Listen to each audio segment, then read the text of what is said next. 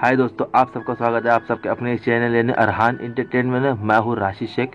तो आज मैंने कुछ ऐसी बेस्ट फीमेल विलन्स की मूवीज़ लेके आया जिसे जानकर आप लोग हैरान हो जाओगे, क्योंकि ऐसी भी लड़कियाँ होती है, चाहे वो फ़िल्मों में हो, चाहे वो रियल लाइफ में, जिसे मिलकर आप लोग हैरान हो जाओगे। शायद कुछ लोग तो ऐसे होंगे जो इनसे मिलना भी नहीं चाहोगे। तो देखते ऐसी कौन सी मूवी है तो चलिए शुरू करते हमारा आज का ये वीडियो। लेकिन वीडियो आगे बढ़ने से पहले मैं आप लोगों से इतना ही बोलूँगा कि अगर आप लोग हमारे चैनल यानी अरहान एंटरटेनमेंट में फ़र्स्ट टाइम आए हो तो यार हमारे चैनल को सब्सक्राइब करो, नीचे सब्सक्राइब की जो बटन उसे क्लिक करो, उसके बाजू में जो बेल आइकन है बेल आइकन प्रेस करके ऑल की बटन को हिट कर देना। तो ज़्यादा समय ना लेते हुए शुरू करते हमारा आज का ये वीडियो।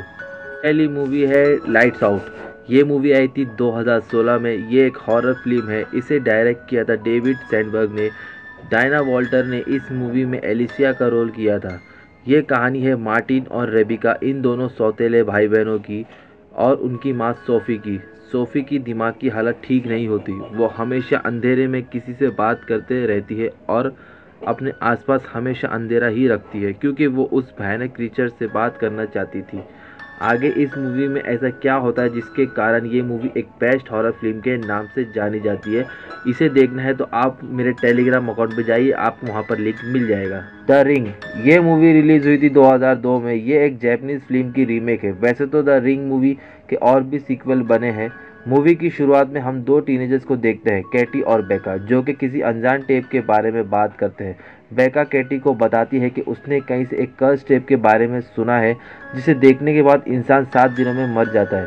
इतना ही नहीं टेप को देखते ही एक कॉल आता है, जिसमें लड़की सेवन डेज़ बोलकर कॉल काट देती है। आगे क्या होता है, क्या वो लोग भी वो टेप देखते हैं या नहीं, ये जानने के लिए आपको ये मूवी देखना पड़ेगा। नेक्स्ट मूवी है मामा। मूवी की शुरुआत होती है ऐसे सीन से जहाँ हमें दिखाया गया है कि एक इंसान अपने बिज़नेस पार्टनर और अपनी एक्स वाइफ का मर्डर कर देता है और अचानक से घबरा कर अपने घर आता है और अपने दोनों बेटे को कार में बैठने बोलता है। फिर एकदम से जाता है वो एक हाईवे पर जहाँ पर काफ़ी स्नो होता है। वहाँ उनकी कार का एक्सीडेंट हो जाता है। इसके आगे क्या होता है और इसका टाइटल मामा क्यों है ये जानकर आपके रोंगटे खड़े हो जाएँगे और ये मूवी आप एक बार तो ज़रूर देखना। अगली मूवी है ऑडिशन ये मूवी आई थी 1999 में। ये एक हॉरर मिस्ट्री पे बनी मूवी है।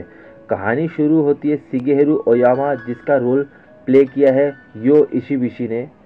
सिगेहरू की वाइफ की डेथ के बाद उसका बेटा उसे कहता है डैड आप दूसरी शादी कर लो। इसी दौरान सिगेहरू को आसामी मिलती है। आसामी का रोल किया है यहाँ पे। इही सिलीना ने धीरे धीरे आसामी का ऐसा सच सामने आता है, जिसे जानकर सिगेहरू हैरान हो जाता है। ऐसा क्या हुआ था आसामी के साथ पास्ट में? वो जानने के लिए आप ये मूवी ज़रूर देखना। लास्ट मूवी है जेनिफर बॉडी इस मूवी की मेन लीड में नज़र आती है मेगन फॉक्स जिसका इस मूवी में नाम है जेनिफर और अमांडा सीफ्रेड का इस मूवी में नाम है नीडी कहानी शुरू होती नीडी और जेनिफर से। दोनों स्कूल फ्रेंड्स होते हैं, लेकिन एक रात जेनिफर कुछ इस हालत में वापस आती है, जिसे देखकर नीडी डर जाती है। तो आखिर ऐसा क्या है जेनिफर में, जिसे जानकर नीडी डर गई थी? ये एक फैंटेसी हॉरर मूवी है, जिसे देखने के बाद आप मेगन फॉक्स के दीवाने हो जाओगे।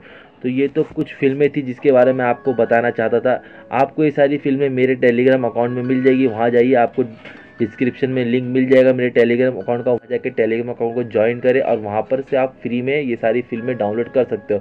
और हाँ वीडियो ख़त्म करने से पहले आप लोगों से रिक्वेस्ट करता हूँ कि अगर आप लोगों ने अभी तक के अरहान एंटरटेनमेंट को सब्सक्राइब नहीं किया तो चैनल को सब्सक्राइब कर दो और जो साथ ही बेल आइकन उसे प्रेस कर देना।